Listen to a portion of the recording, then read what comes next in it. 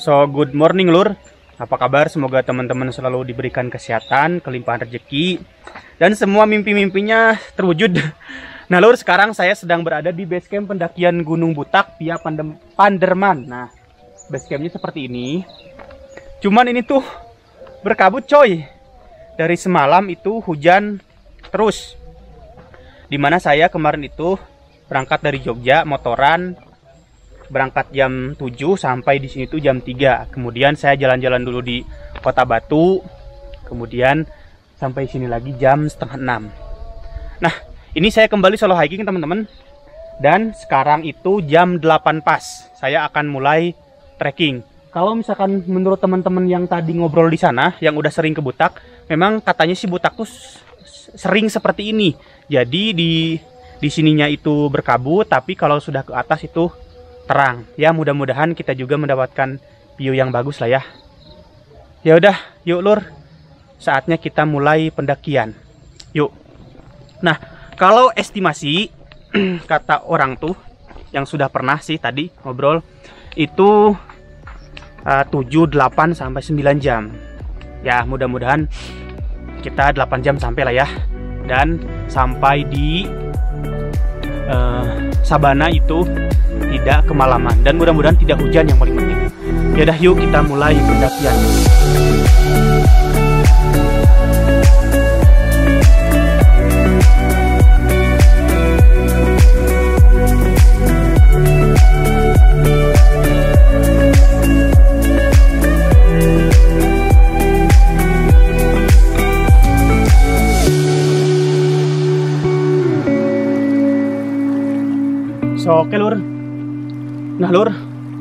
Jalan setengah jam.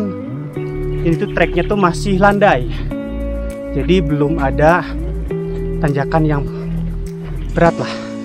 Nah sebagai informasi lur untuk tiket registrasinya Butak itu 15.000 per pendakian.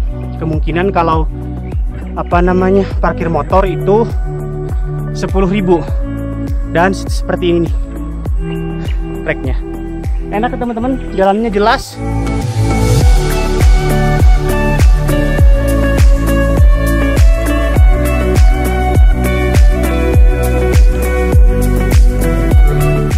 So oke lur, Alhamdulillah sekarang kita sudah sampai di pos 1 Total trekking 1 jam. Saya di sini mau makan dulu ah. Lokasinya seperti ini. Ada warung juga.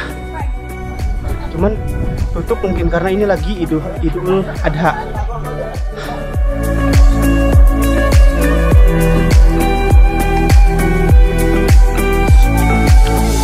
So oke lur, ini di pos satu saya bikin mie dulu dua nih sama telur. Karena tadi belum sarapan. Karena memang tidak ada warung yang buka kemudian di sini pun warung tidak ada yang buka.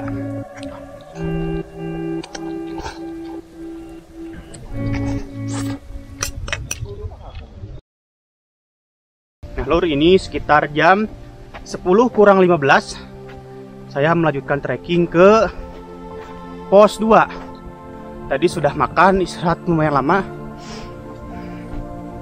Ya udah yuk kita lanjutkan trekking ke pos 2 yuk.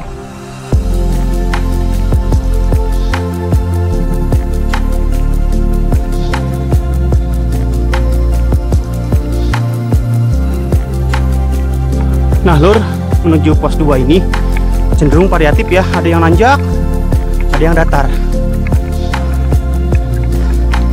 ini kita masuk ke jalan datar lagi. Jadi jalurnya tuh lur, lur licin gini nih karena semalam hujan. Mantap lah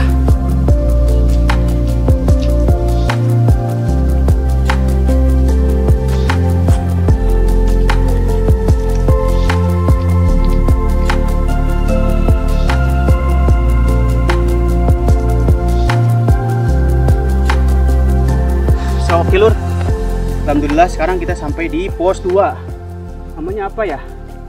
Cantik ganteng buat turun sampahnya ya. Unik. Namanya tuh Total trekking 45 menit teman-teman. Masih landai cuman licin. Ada yang licin ada yang enggak. Karena memang mungkin semalam hujan. Ya udah Yuk, kita santai dulu di pos 2. Nah, lokasinya seperti ini.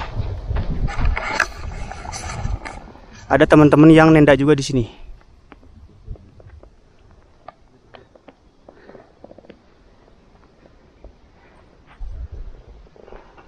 Yuk santai dulu ah. So, oke lur. Nah, lur ini jam 11 kurang 10. Saya akan melanjutkan perjalanan menuju ke pos 3. Nah, kalau tadi kata orang ketemu yang di pos 2, ini katanya tuh treknya lebih landai daripada satu ke dua. Dan katanya sih cuman satu jam. Ya udah yuk kita lihat berapa lama trekking dari dua ke tiga. Yuk.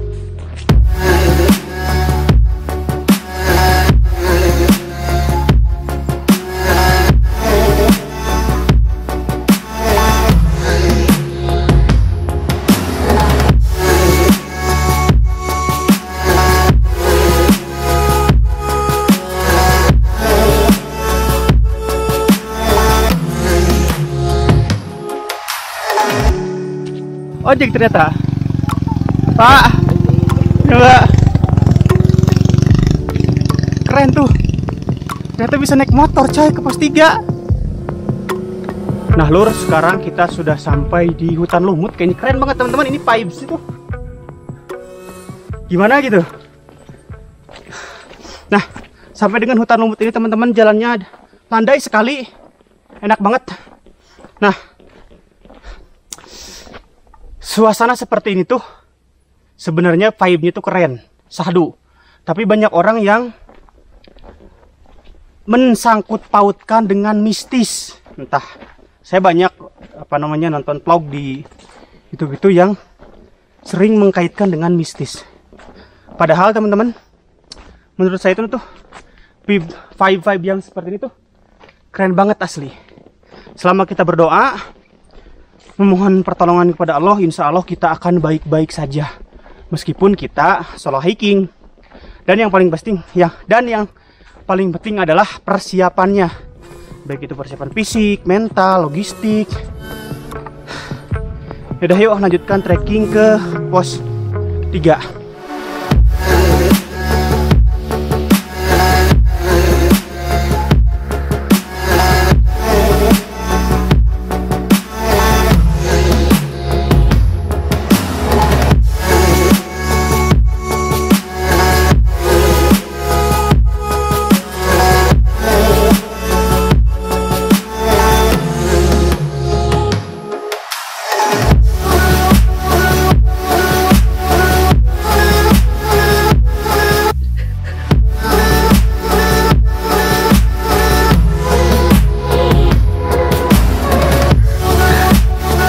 Sepatu sampai kayak gini.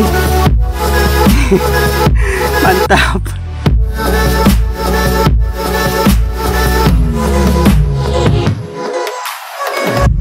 Nah lur trek dari pos 2 ke 3 ini mengingatkan saya tuh ke jalur Babangan Pias Permadi Guci mirip-mirip nih dari pos 2 ke 3 seperti ini juga. Landa terus. Cuman panjang treknya dan topografi tumbuhannya pun mirip-mirip seperti ini. Ini licin coy tuh. Oh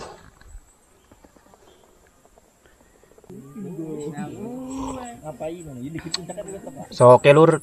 Alhamdulillah sekarang kita sudah sampai di pos 3 tadi saya tuh sampai di pos 3 itu jam 12 kurang 10 jadi total pas banget.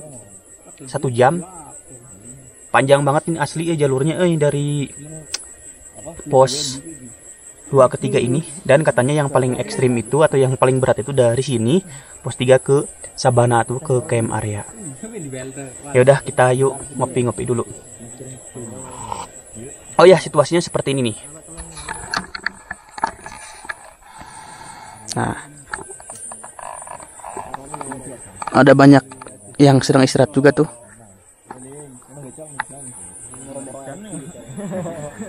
Yuk ah istirahat dulu. So, oke lur. Nah lur ini jam setengah satu. saya melanjutkan trekking ke pos 4 ke camp area Sabana. Ini jam setengah satu. Tadi sih ketika saya ngobrol-ngobrol dengan pendaki yang udah pernah, yang udah turun, katanya menuju pos 4 ini adalah trek yang paling berat. Ada yang bilang 2 jam setengah, ada yang bilang 3 jam, ada yang bilang 4 jam. Dan katanya memang yang paling berat dari 3 ke 4.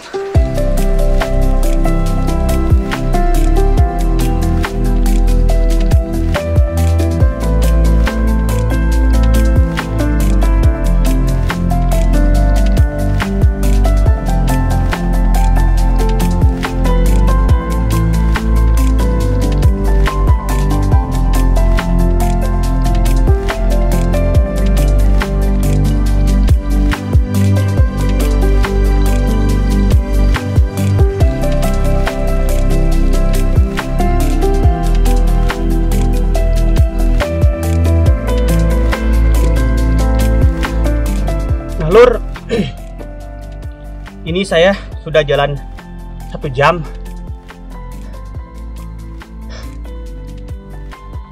Belum ada tanda-tanda sabana. Dan memang tadi kata orang yang turun juga, itu perjalanan paling cepat tuh katanya dua jam setengah. Berarti ini kita baru setengah perjalanan belum kayaknya. Mantap lah. Memang dari pos 3 ke Sabana itu atau ke pos 4 itu paling jauh, paling berat katanya. So, dinikmatin aja lah ya. Yuk, lanjutkan trekking lagi. Tung. Tung.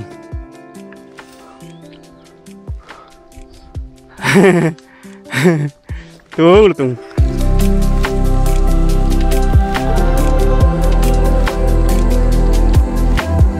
Nah lur kalau kelihatan tuh ada yang bilang Semeru katanya.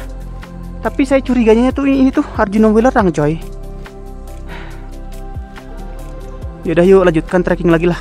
Ini asli menuju Sabana panjang banget, lama banget. Ini udah dua jam nih jalan belum sampai.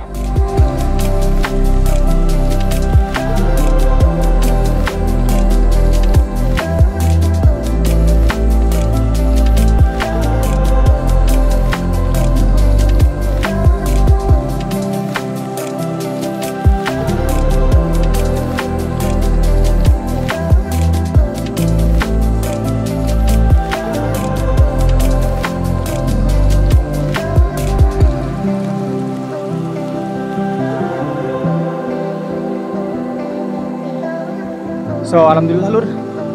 Sekarang kita sudah sampai di Sabana Butak. Total trekking dari pos 3 ke sini tuh 2 jam setengah. Alhamdulillah ya Allah. Sekarang kita sudah sampai di pos 4 Alhamdulillah. Yaudah yuk kita nyari tempat atau camp lah. Tap. Sebenarnya luas teman-teman tuh. Uh keren when it's cold So lur sekarang saya sudah selesai masak. Di mana ini masak mie Nasi sempurna Lalaban Lalaban kemudian ada, ada Apa namanya Buncis goreng sama ayam. Sama mas ya mas?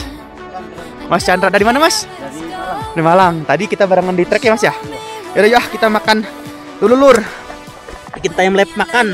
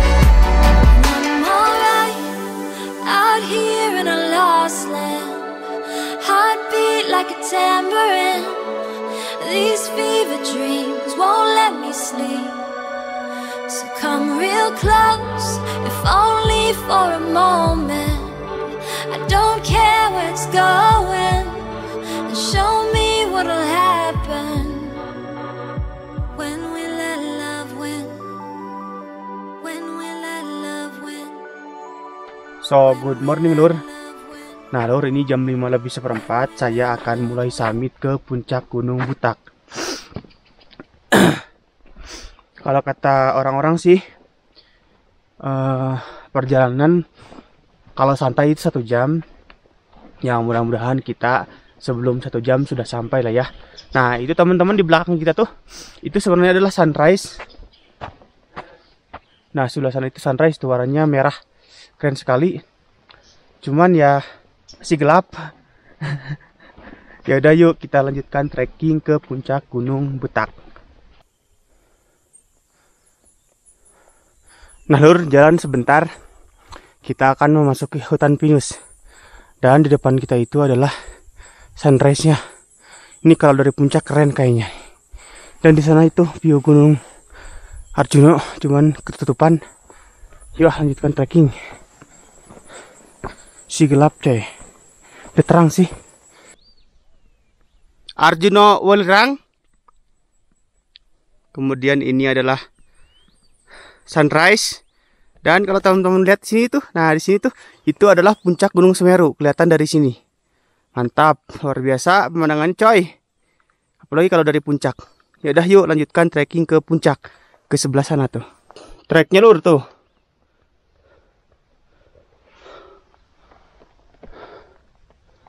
Mantap.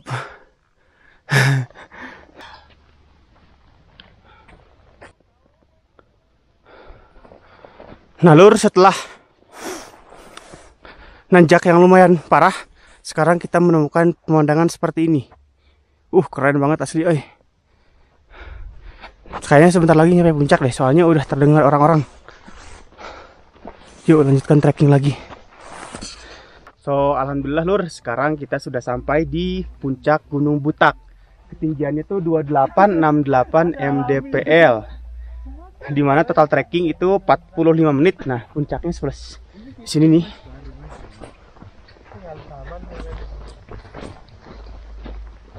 Nah, ini plakatnya nih. Alhamdulillah sudah sampai di puncak Gunung Butak. Kita enggak? Nah, plakatnya. Mata nih, Nah, di sini tuh view-nya tuh. Keren teman-teman. Tuh.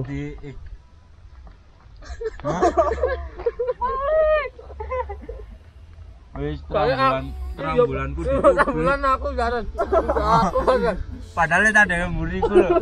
Dicubit. Nah, saya akan ajak teman-teman ke sebelah sana. Karena di sana tuh itu adalah view sunrise-nya.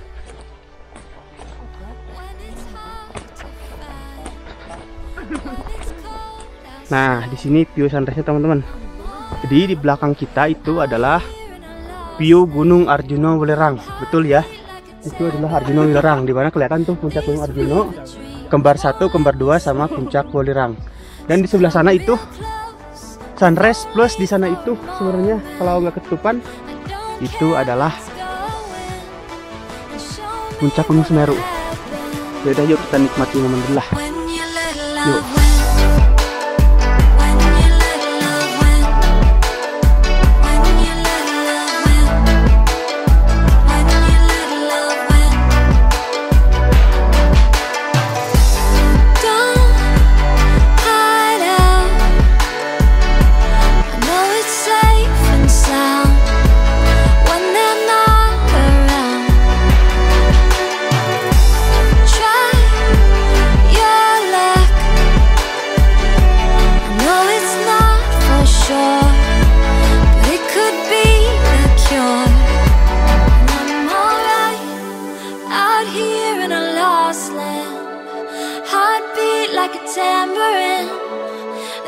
Kalau misalkan kelihatan di sana itu adalah view Gunung Lawu.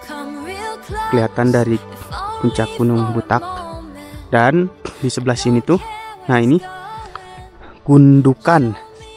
Kalau kata si Mas itu banyak dipakai untuk orang yang berziarah mungkin ya entah berziarah entah apa pun nggak tahu saya seperti ini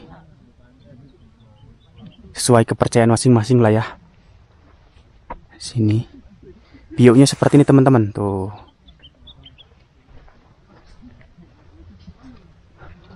Mas ngomong Mas. Masuk vlog, vlog Mas. Halo, salam dari Medan. gimana Mas? Apa namanya puncak Gunung Butak? Waduh, Gunung Butak. kesan-kesannya? Gunung Butak tuh keren sih, nggak nggak eh, sesu apa ekspektasinya awalnya biasa aja. Heeh, Rupanya sekeren ini sih. keren ya Karena kan di luar Jawa Timur kayak Butak nggak terlalu familiar. iya kan ya. betul justru itu Kayak orang but, Butak, Butak. Jawa Timur kan orang Arjuno paling atau enggak Heeh. Semeru gitu Semeru, Raung, ya Kupuro ya. ya. Bener. Padahal Butak juga Sekeren ini bagus. gila. Heeh, bener. Eh, Apalagi kalau misalkan sunset kayaknya bagus di sini tuh Mas. Karena kata orang tuh sunsetnya sebelah sini. sunset ya? Heeh. Iya. Cuma Pantesan- kan di puncak nggak terlalu boleh banget ya pakai puncak. Heeh. Apa ngecamp. View-nya seperti itu. Nah, sebelah sana tuh sebenarnya lur view Gunung Semeru cuman nggak kelihatan. Ke- Kelihatan cuman tertutup oleh kabut. Ya udah yuk kita menikmati momen dulu. so oke lur, ini jam setengah tujuh saya memutuskan untuk turun. Cuman jalur yang berbeda diajak sama si Mas tuh. Jadi bukan jalur yang pertama tadi kita samit, tapi kita melipir supaya bisa menikmati sabana. Yuk, bismillah.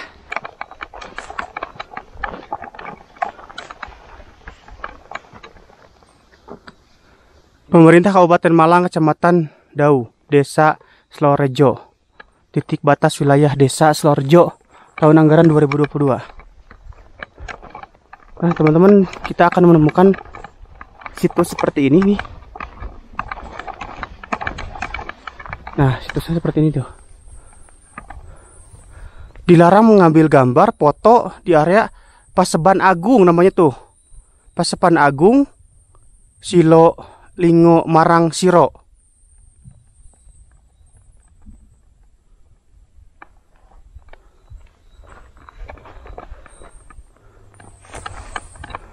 Saya nggak tahu nih ini apa nih. Kata si Mas sih musola katanya. Tapi nggak tahu musola apa tuh. Yaudah yuk, lihat aja lah kita. Nah lur, kalau ikutin jalur saya turun barusan itu lebih jauh, asli lebih rindu, lebih rindu lagi, lebih rimbun juga. Kemudian kita akan menemukan saung seperti ini. Kemudian di sini juga ada mata air nih.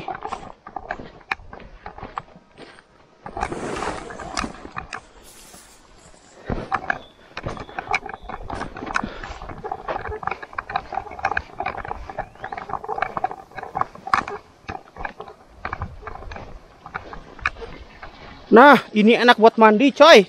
Tuh. Lebih ini lebih privat ya, Mas ya?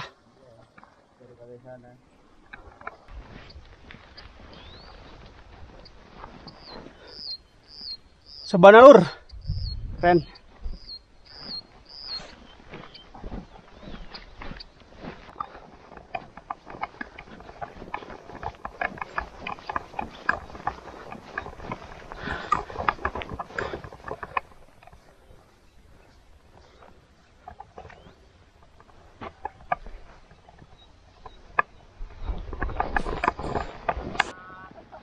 So, oke lur. Alhamdulillah sekarang kita sudah sampai lagi di camp area. Yaudah ya, kita masak. Ya lapar coy.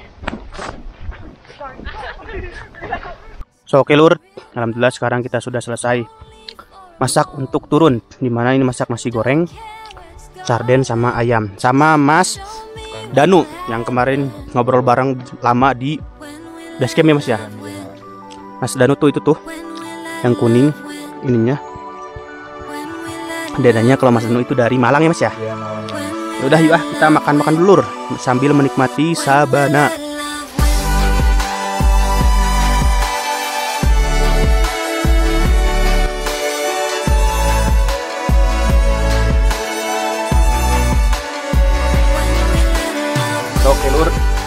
jam 10 pagi saya akan melanjutkan turun ke base camp.